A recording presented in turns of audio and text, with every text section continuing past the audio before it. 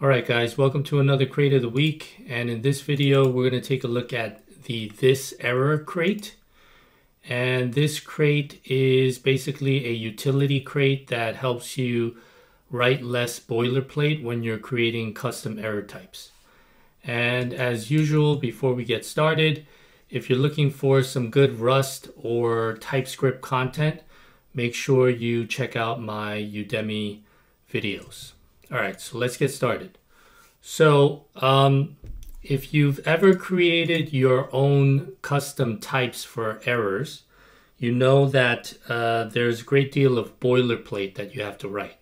Now, as you can imagine, if you are building uh, custom error types for a very large project, you might be dealing with enums and that just adds to the amount of boilerplate that you need to create.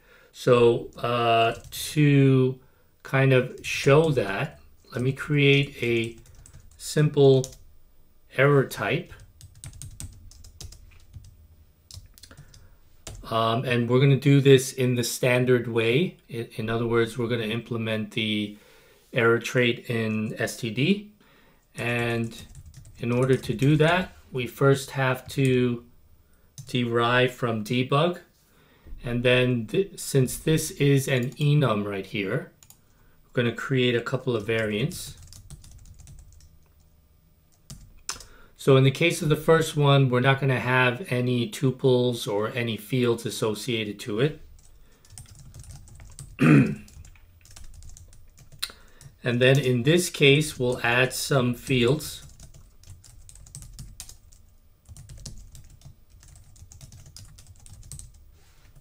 So we've got two fields. One indicates the um, the field name that uh, triggered the validation failure, as well as the actual fail failure message itself. And then finally, we'll add a tuple type, and then it will contain the specific error or the custom string of the error for the network error type. So then if you're doing something like this.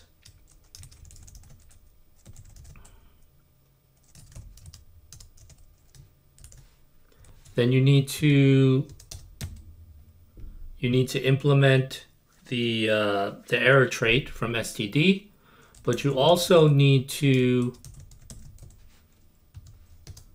implement display, and this is really where most of the boilerplate stuff comes from.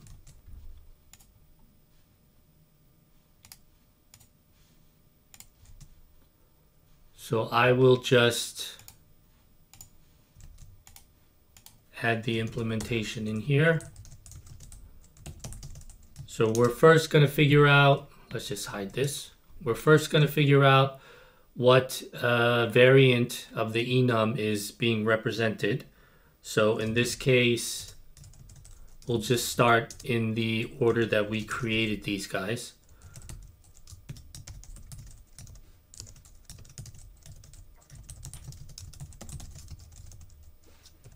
right? So that's the first one. And then this one contains the two fields that we have to deal with.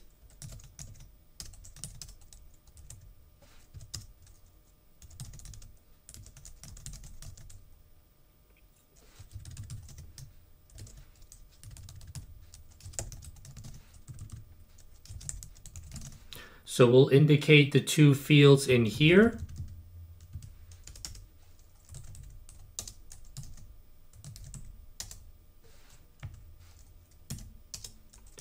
And then finally, we have the network failure. Uh, I'll just put it like this.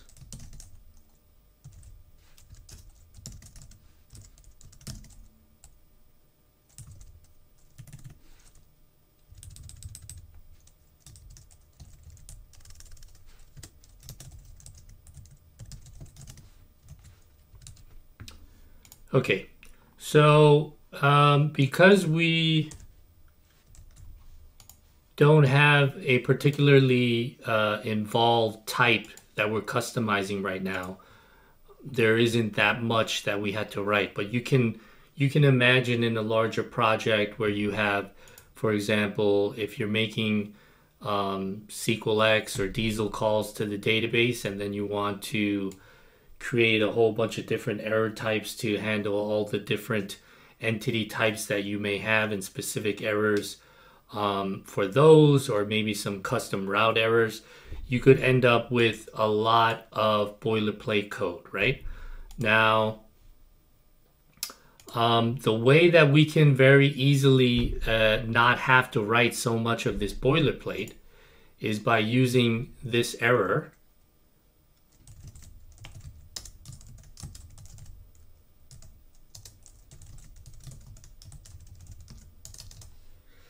And by using thiserror as a derive,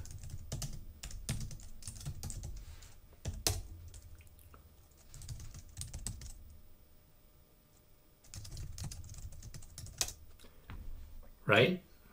Just as a derive, we're able to eliminate effectively all of this that we would normally have to type out by hand and then decide about you know how we're gonna we're gonna deal with fields and tuples and all of this stuff, right? So if we give it the same variance,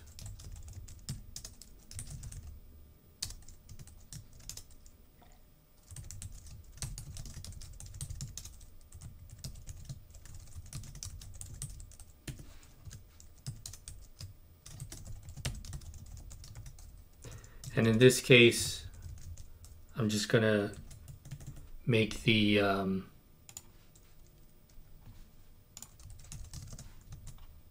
I'm gonna make the tuple type to be to be an IO error.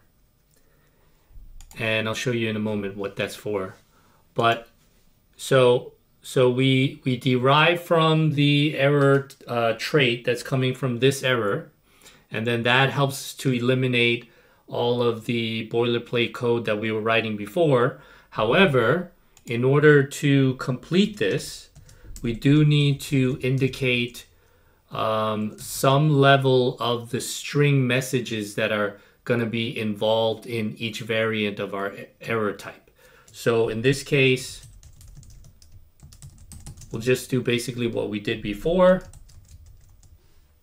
right? So there's one.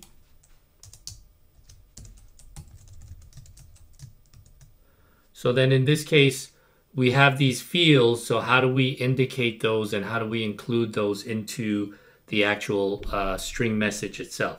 So then if we do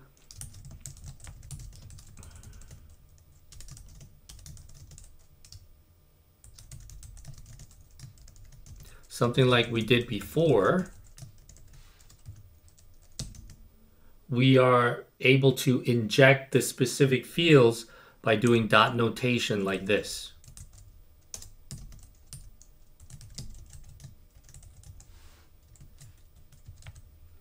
Right? So this is a lot, if you've ever used like Swift UI and stuff, this is a lot like Swift syntax where we don't have to indicate the actual object itself. We just do the dot and then the field or the member uh, associated to that object. So it's basically like the same sort of thing. And then finally, in the case of a tuple,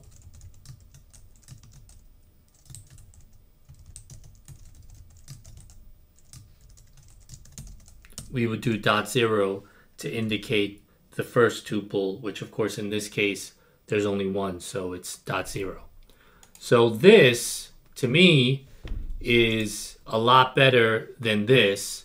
And again, because we haven't really fleshed out the number of variants and the number of different error types, it doesn't immediately, you know, kind of um, impact you in terms of how much time and boilerplate it can save.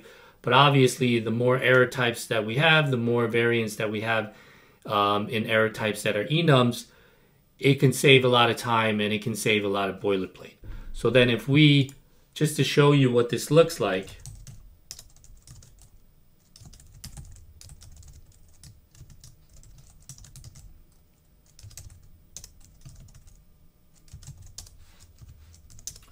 So if I print these out,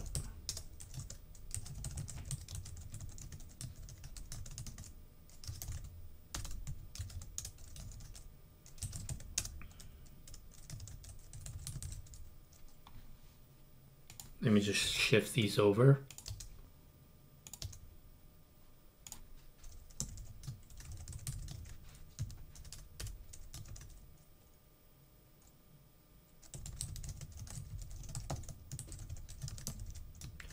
Right? So that might be a typical validation message for a required field. And then finally,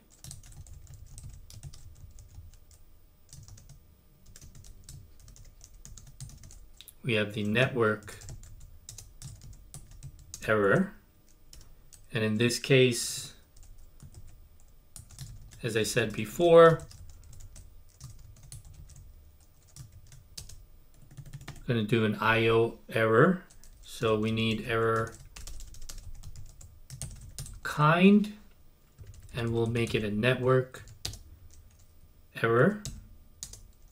And then since our type right here is an impl of std error, we'll just pass that in.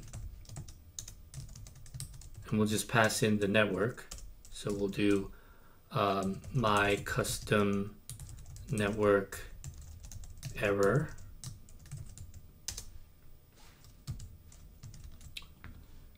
Okay, so now we're going to print out everything and just to see what it looks like.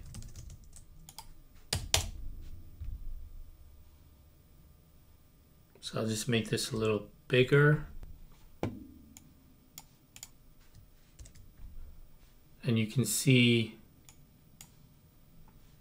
can see right here, we have the server error, internal server error, um, the validation error, the field name, username, username cannot be empty, and then the network error, which is a combination of our this error type that we created plus the my error type that we created.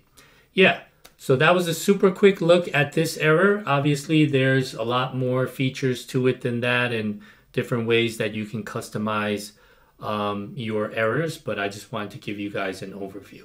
So like the video, subscribe, and thanks for watching.